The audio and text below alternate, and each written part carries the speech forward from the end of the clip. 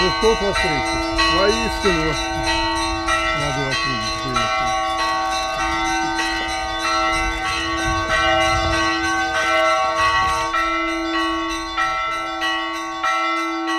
Добрый день! Христос воскрес! Мы поздравляем с Пасхой вас! Христос воскрес! Христос воскрес! Пусть облекается в слова благословения небес. Сегодня, в этот светлый день, открыто сердце для чудес. Душа ликует и поет. Христос воскрес! Христос воскрес! Вои- Воистину. Спасибо. По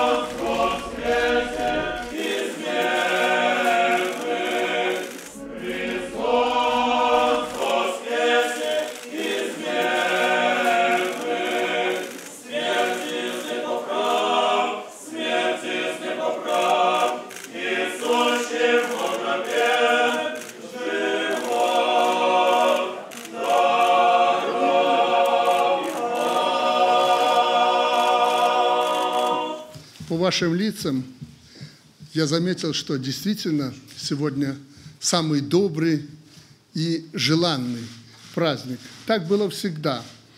И этот праздник всегда людям дарил надежду. Надежду на справедливость и счастье. Надежда в наших сердцах живет и поныне, в каждом человеке, не только в Беларуси. Этот великий праздник, светлый праздник, который мы всегда могли только сравнить со светским праздником Днем Победы, это равносильно тому, и принято отмечать этот светлый праздник в кругу родных и близких тебе друзей. Вот и причина, почему я приехал сегодня на эту святую родную землю, где когда-то родился, и много раз интересно было. Мы с мальчонками приходили к храму, который стоял на этом месте, и смотрели на наших матерей, в основном это были матери, которые приходили сюда для того, чтобы встретить этот светлый праздник.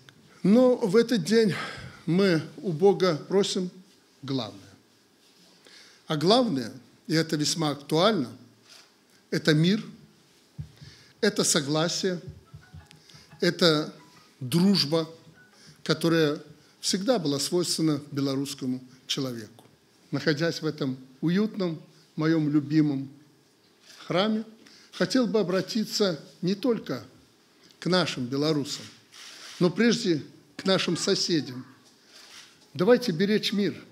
Это сейчас так актуально. Помните, все время подтрунивали надо мной, особенно так называемые оппозиционеры. Ну чего там, его народ все время, лишь бы не было войны. А я всегда говорил, если война, ничего не надо.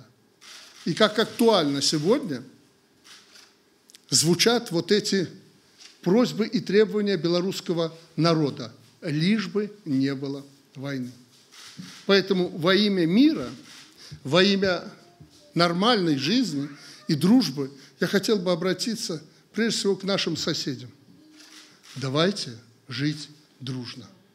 Хотел бы попросить своих коллег, политиков, давайте не будем создавать нашим людям проблемы.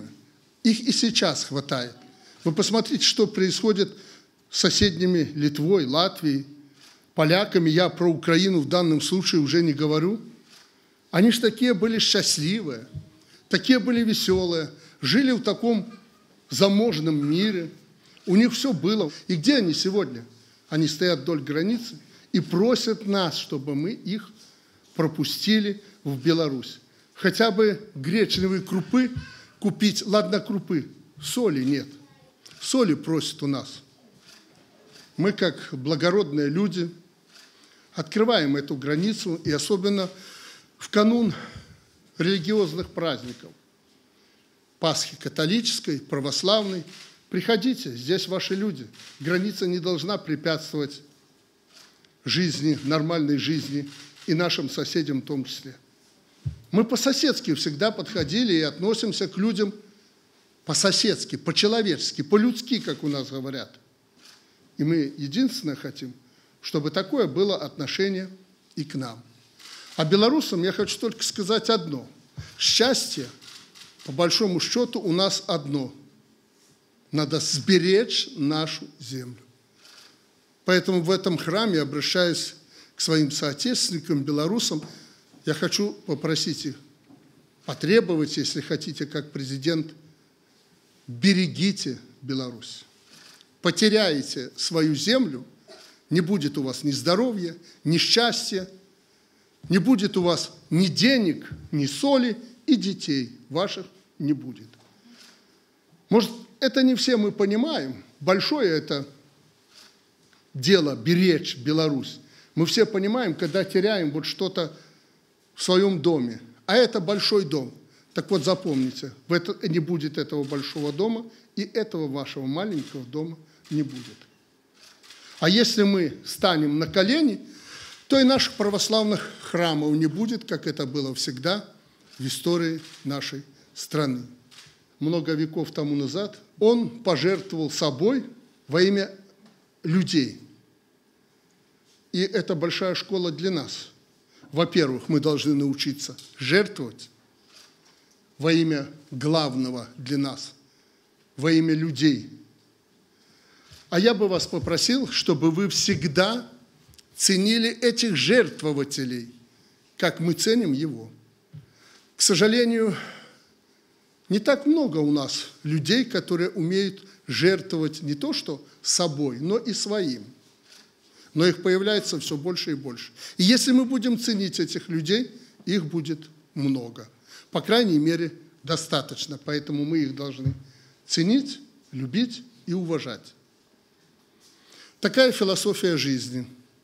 Но я приехал сюда не ради философии, а ради того, чтобы пожелать всем вам и белорусам, которые нас услышат, счастья, добра и мира. Традиционно хочу поблагодарить наших священнослужителей. Спасибо вам, тем, кто ради людей верит, кто живет ради людей, жертвует своим временем, здоровьем. Хочу вас от всего сердца, как глава государства, поблагодарить. Будьте всегда со своим народом. Нет в мире более преданных священнослужителей, чем в Беларуси. И честных, самых-самых честных больше нигде нет. Да, священники разные, как и все мы. Они от нашего общества, но самые преданные, честные и надежные в Беларуси. Потому что у нас еще осталось то светлое, нетронутое и незамутненное, что досталось нам в наследство от наших предков. Здоровья вам, дорогие земляки, дорогие белорусы, Христос воскрес! воскрес! Ну и традиционно, Владыка, вам наша икона.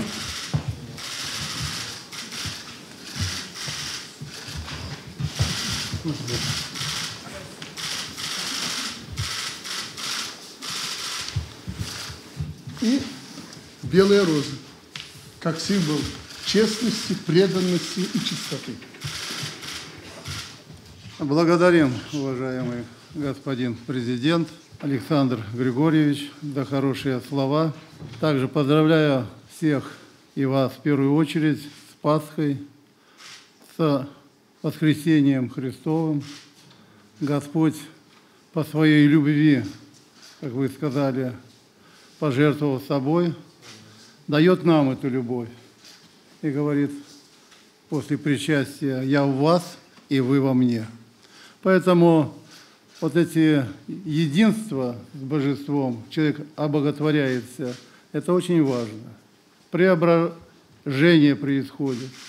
И когда мы с вами внутренне становимся и чисты, и прекрасны, и Господь многожды с нами беседует, и это Милость Божья, ибо Господь есть Дух, во всем в ней и выше всего, божественный, любвеобильный Дух. и дает нам с вами любовь, любовь друг к другу, уважение. И сказано замечательные слова. Нет выше любви, чем любить своих близких.